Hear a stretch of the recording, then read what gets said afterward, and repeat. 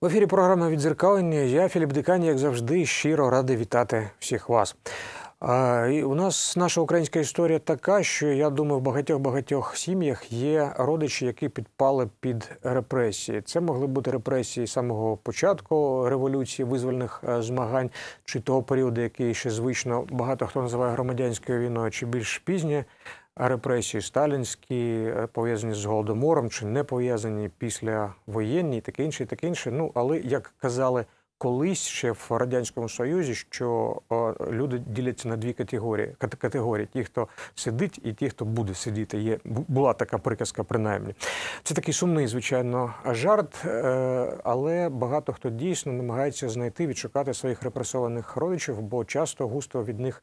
Взагалі не було ніякої звістки, навіть невідомо, де вони поховані, як померли. От як це зробити, у Харкові розповідав Ігор Кулик, який очолює архів національної пам'яті. Пане Ігоре, радий вас вітати.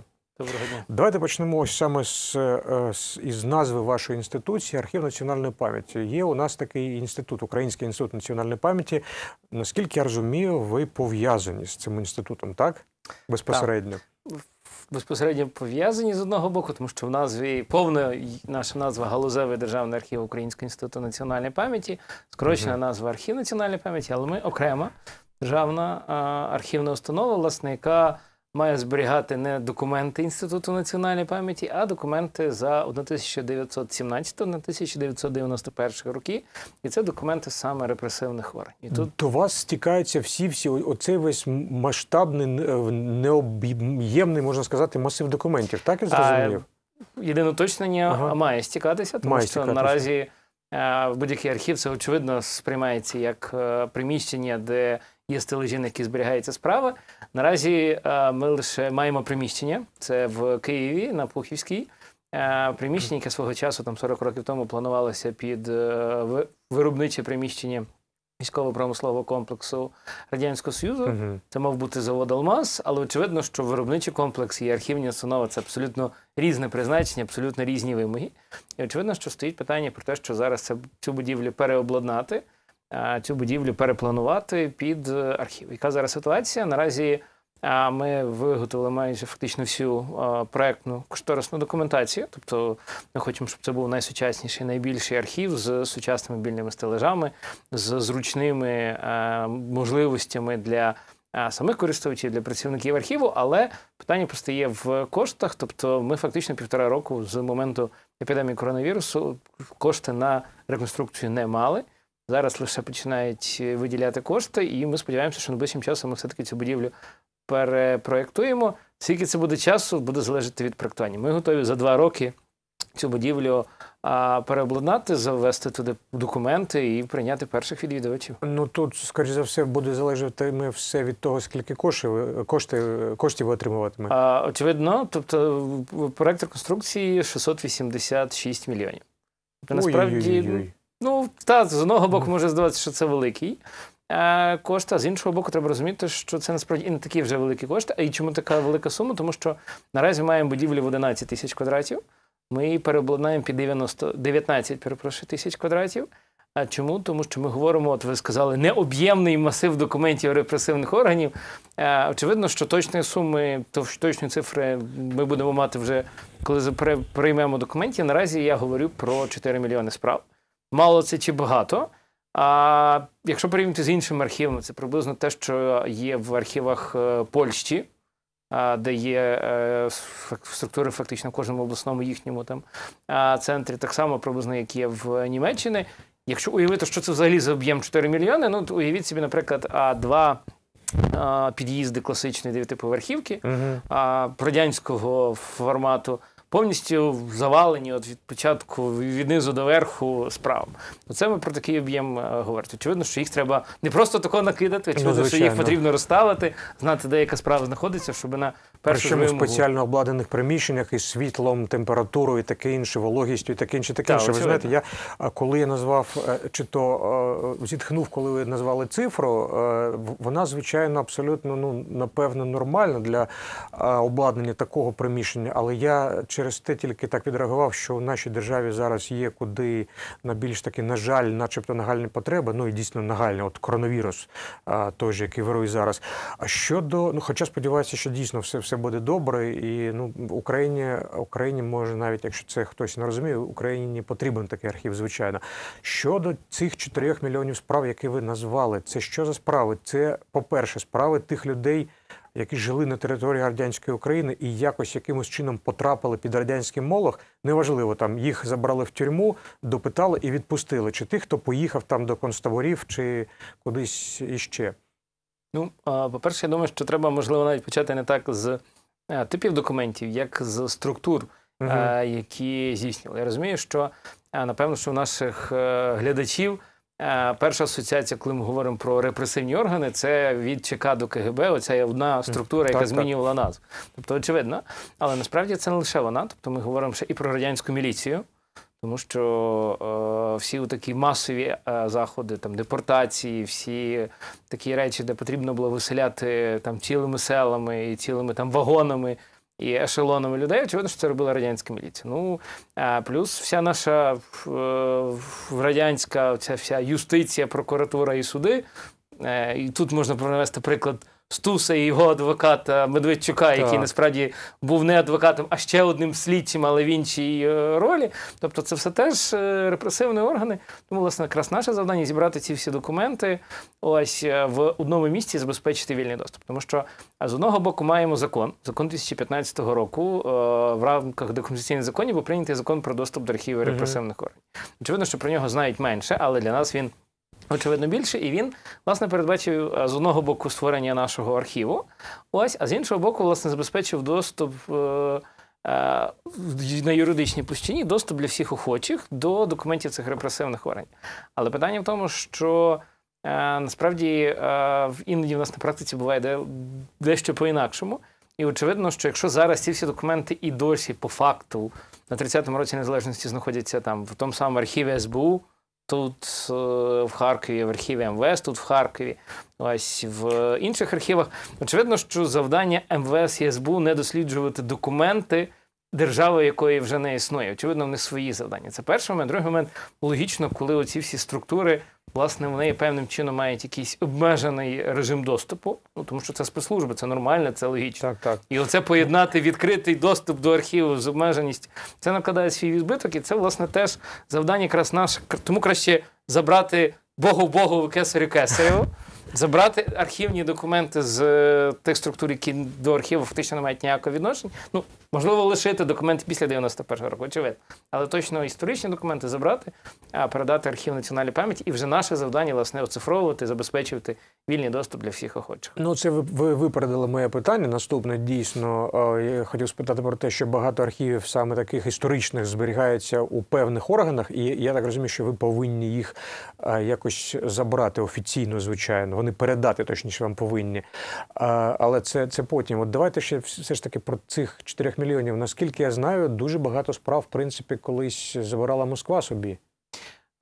Очевидно, що якийсь масив документів є в Москві, частина якийсь масив документів був е, знищений, але насправді ми маємо е, особливість цих документів в тому, що в будь-яких завжди в всіх історичних е, умовах е, чи Росія, чи Російська імперія, чи е, Радянський Союз е, розглядали Україну як невід'ємною частиною цієї держави під різної назви. Тому очевидно, що в українських архівах зберігається значний масив документів, які просто фізично знищити всього було неможливо. Ну, уявіть собі, знищити 4 мільйони справ. Це я не знаю, який це штатний має бути людей, скільки не має це все працювати. Тобто, це перший другий момент.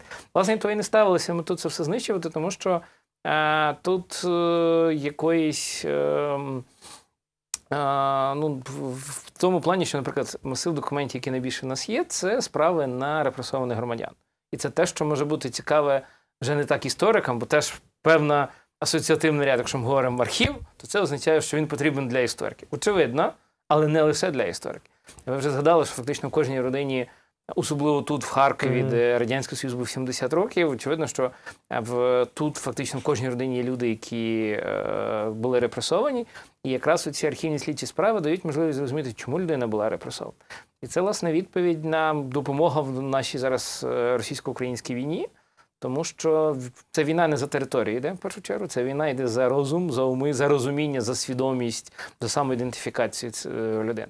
І власне архіви якраз дають зрозуміти, що а, чому так відбувалося, от, а, чому людей знищували, а, яка, для, яка, яка була в цьому всьому мета тих самих голодів, голодоморів і так далі. І власне тут е, важливо це якраз елемент е, того, що ці історичні документи вони не тільки для дослідження історії, вони для розуміння сучасності і для е, проєктування майбутнього. Що я маю на увазі? Справді, всі ці фрази, які ми там чули спочатку 2014 року, про нас там нет. Вони вже десь лунали 100 років тому, і в Харкові так само е, в тодішня більшовицька Росія привозила людей і показувала, яка ні, що нібито відбувається це якась там громадянська А війна. ми тут проїздом, до речі, як все починалося наприкінці 17-го року. Більшовики московські і пітерські їхали ж боротися, начебто, за їхніми словами, з Каледіним туди, на Дон. А вийшло, що зачепилися тут. Так, тобто так само е, чи так звані е, фейкові е, ЛНР, ДНР. Тобто ми так само Мгм. 100 років тому мали Криворізьку Народну Республіку. Тобто це все повторюється. Очевидно, що методи інші, ну бо соціальні мережі, е, телебачення, е, вплив інтернету і так далі. Але ось у цей момент. І це. е, Що в чому ще важливо? Важливо в тому, що це оці злочини комуністичного режиму, які будуть зібрані в одному місці, це можливість дослідити, як взагалі тоталітаризм як такий. Тому що наші сусіди, авторитарні, тоталітарні Білорусь, Росія, вони все одно власне живуть десь за тими самими лекалами, яким жив Радянський Союз. І зрозуміти, е, і, і всі думали, що Радянський Союз теж буде жити вічно. Ну ніхто ж, і, якби комусь сказати, що там в 85-му році Радянський Союз впаде там через 5-6 років, ну всі б сказали, що це нереально. Ось так само зараз нам здається, що Росія вічна і вона не розпадеться. Але це теж е, будь-які ці, ці держави вони рано чи пізно мають свої якісь логічні е, цикли розвитку і занепаду. І очевидно, нам треба знайти оці ключі до того, як би спричинити до цього розпаду, як зробити так, щоб Росія теж розпалася. Ох, нічого як замахнулися. Ну, я, я не знаю, як це можна зробити. По-перше, історикам, а по-друге, не історикам, а звичайним людям, громадянам, я скажу, обивателям в доброму розумінні цього слова, які йдуть знайомитися з історією своєї сім'ї. Добре, коли потім, а я думаю, що такі питання повинні, звичайно, у будь-якої притомної людини поставати. Да? А чому от його репресували? Не через що скажімо, там контрреволюційна розмова, ну це звичайно дурниці, чи навіть якісь, начебто, дії. А саме, от чому вмінили у провину якусь дурість, якусь дурницю, нісенітницю абсолютно. Але спочатку людина йде дізнатися про дідуся чи прадідуся, про бабусю, якісь кудись зникли. До речі, багато звертається таких людей. Насправді, якщо ми говоримо конкретно, ми буквально на днях е, разом з сайтом тексти е, виклали статтю з інфографіками, де ми спробували проаналізувати на основі звернень саме до архіву національної пам'яті. Тобто це тільки наш архів, ми не брали інші архіви, але ми спробували проаналізувати, е, про кого найбільше питають людей. І виявилося, що про тих, хто е, своїм корінням, е, там звідки родичі їхні репресовані були з Харківщини, що це що, що воно Харківщина ділить 6-9 місце з іншими областями. Тобто це означає, що Не перші. а, не перші, але і це там не Львівська чи Івано-Франківська чи Закарпатська область, які, по-перше, е, були приєднані там в 39-му, 44-му році до Радянського Союзу. Тобто це теж Мгм. говорить про а, якусь е, е, масштабність репресій. Це теж і знову це говорить про те, що люди цікавляться і вони хочуть знати правду про своє минуле і, власне, спробувати відновити якісь білі плями своєї родинної історії. Угу. А до речі, враховуючи вашу роботу давнішню в архівах е, і багатьох істориків, які цим займаються, можна дослідити е, чинники, можна сказати, навіть не чинники, а от за що людей, як то казали, брали. Да? Є такий вираз, мого дідуся взяли чи, чи бабуся. От що їм таке вміняли? А, насправді, ще на одному з інфографіків, які ми тоді виклали, е, дуже часто інформація про людину обривається на момент арешту. Тобто люди ще хоч якось більш-менш знають про дату народження, Мгм. хоча б рік. Точно дату не доводиться говорити. А, хоча приблизно знають е, прізвище ім'я, по батькові це дуже велика рідкість. От приблизно знають, де людина народилася. е, От, і коли була арештована.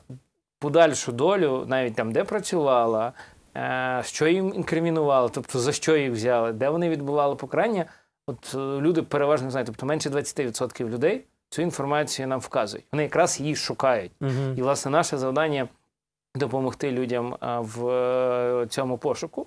Ось, і, власне, якраз з цією метою ми створили відео такі інструкції. Вони їх п'ять, вони короткі, там всього 16 хвилин.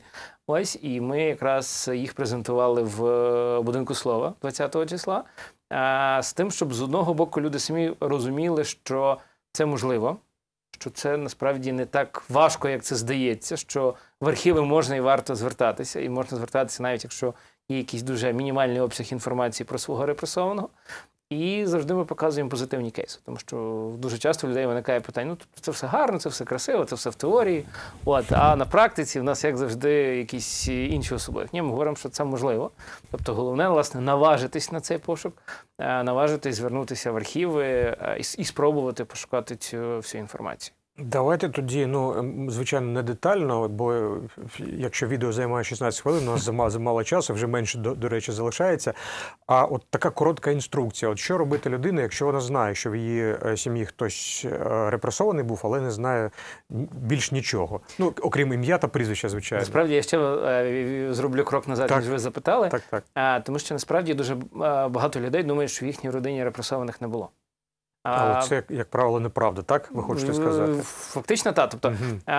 в нас був випадок, коли ми, Цікаво. коли ми е, в травні цього року разом з сайт НВ е, випустили цикл з п'яти статей, де е, е, працівники редакції сайту НВ Нове время розказали про своїх репресованих е, рідних. А що було перед тим? Перед тим ми прийшли, поч- почали говорити про цей проект, і жодна людина не сказала, що в неї є репресовані. Саме через те, що вони не знали. Не, не знали. Ага. А виявили, що а в, наприклад, в головний редактор Юлії Магафії е, реп- е, був репресований, причому не звичайний, а єпископ. І просто священник, не просто там селін, а єпископ. Вона про це не знала, він був похований в Биківні. Тобто це все насправді такі дуже е, важливі речі. Ну, тому це, я перепрошую знов таки. От якщо знати, що в когось родич займав таку посаду, е, можна сказати, не- не чисто з точки зору радянської влади, да, в ці роки, то зрозуміло, що він, скоріш за все, пішов під ніж, я так скажу. Але якщо е, предки там селяни, робітники і таке інше, то дійсно людям здається, що ну а, а за що їх е, радянська влада могла карати? Але було так, так би мовити, за було, що? е, ну, знаєте, е, Радянський Союз це планова економіка. І планова Мгм. економіка була на все. Включно з того, що ти в квартал мав продати таку кількість трун. Вмерло людей стільки, не вмерло, нікого не цікаво. Ти маєш продати стільки до трун. Тому очевидно, що е, планова економіка була і на те, що от, треба знайти стільки то ворогів. Є стільки там тисячу ворогів в області. Є тисячу ворогів, нема тисячі в області. Це не цікаво. Ти Будуть. маєш показати план. Мгм. Все. І очевидно, що тоді йшли ті люди, які якось е, по відповідним прізвищам і, і, і так далі. Так, ну і що робити людина? От знає вона, що є там Іван Петренко, наприклад, якийсь, да? Навіть якщо не знає, все Навіть починається з домашнього завдання. Домашнє Ага. завдання це в першу чергу попитати своїх рідних. Або це тих, хто Мгм. тим займався, або, можливо, там той, хто має якийсь архів сімейний, або в- найстарший в родині. От зібрати цю інформацію, що в першу чергу важливо для знати про людину, е, це прізвище ім'я по батькові. Дата місця народження, обставини репресії, тобто коли саме трапилось, що саме трапилося. Тобто всі ці подробиці, очевидно, як я вже говорив, дуже часто е, ідеально зібрати всю цю інформацію в повному обсязі це нереально. Ось, е, тобто, збирайте те, що є. е, Потім на основі тої інформації, що ви зібрали в родині, якщо ще є документи, світлини, прекрасно, тому що там теж може бути якась е, інформація про місце відбування покарання, можливо, якісь там позначки. Е, Відкриваєте е, інтернет-базу даних, які зараз є декілька. Очевидно, що е, вони постійно поповнюються. Очевидно, що сподіватися, що вони абсолютно повні не, доводиться. Якщо знаходите там, до, розширюєте інформацію, немає чи є, то воно звертаєтеся в архіви. Це е, зазвичай архів МВС, місцевий архів Київ, архів СБУ, місцевий Київ, Державний архів області за місцем народження, проживання, харчування. Вказуйте. в заяві всю цю інформацію. Це не треба, як дуже часто питають, яка форма має бути заяви. Важливо не форма, важливо зміст. Вільно. Тобто, та, викладіть ту інформацію, яку ви знаєте, дайте свої контактні дані. Протягом місяця архів вам відповість. Є в них чи немає інформації. Якщо є, проходите в читальну залу, берете з собою фотоапарат або будь-який гаджет, абсолютно безкоштовно копіюєте від першої до останньої сторінки. Далі вже можете з цією інформацією ділитися з рідними, публікувати десь в пресі, писати якісь розслідування тощо. Ну і доступ до архіву СБУ, скажімо, вільний, чи МВС зараз у нас Е, в Україні. Хотілося би, і законом це передбачено, але я говорив, що власне є певні особливості, Ага. е, особливо в архіві МВС, навіть дуже такі прості. Ну тобто, якщо ми говоримо про архів МВС, то в цілому в Києві в них е, знаходиться понад півтора мільйони справ, саме цих історичних документів. І на цю півтора мільйону справ, е, якщо брати весь всю Україну, в них е, числиться там щось трошки більше 50 людей. М. І це ще ж є і документи вже від 91-го року сучасної української міліції чи поліції. Тобто, очевидно, що ну нереально 57 людям е, це все опрацювати. Плюс треба розуміти, що переважно там не історики, не архівісти, люди, які тобто не мають якихось Сторонні, можна сказати, навіть Ну. в якомусь сенсі. Так. Чи важливо, е, якщо людина живе, скажімо, от в Харківській області чи в Харкові, щоб родич був репресований саме тут? А, можливо, якщо родич, тут треба дивитися не так, де людина, де заявник проживає, як де проживав, е, проживав або був арештований, або народився е, людина, про яку ми власне шукаємо. Так, тобто, так. за цими особливостями, та тоді е, найліпше, тобто можна звертатися в місцеві СБУ, МВС, Держархів е, області, або можна звернутися до нас в архів національної пам'яті. е, На нашу Фейсбук-сторінку, Інстаграм, е, сайт, е, електронну пошту. І ми навіть відкрили стаціонарні і мобільні е, телефони, щоб люди могли відразу подзвонити і зразу ми проконсультувати, так. не чекаючи. Ти ви напишіть, ми відпишемо і так е, в такому якомусь е, з, комунікації на паузі. Ось тому власне це допомагаємо. Е, Якщо вдається, а і це часом вдається через на основі тих баз даних, які є, е, одразу підказати, де є справа. Ну, наприклад, е, в ми в якщо не помиляюсь, десь близько трьом заявникам з- саме з Харківщини е, підказали, що їхня справа в Державному архіві області у Харківського, а переслали їхні е, звернення в архів, і вони вже відразу з архіва отримали листи, чи там електронні копії справ, чи листи запрошення прийдіть до читальної зали, попрацюйте, отримайте. Тобто, це насправді якраз теж наше завдання.